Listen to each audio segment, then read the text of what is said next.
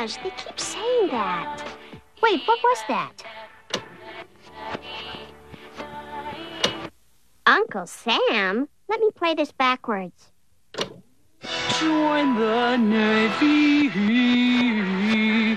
Join the Navy. They're recruiting people with subliminal messages. Otto, what are you doing? I don't know. I just got an urge to join the Navy. You're being brainwashed. Yeah, probably. Yvan eht nioj.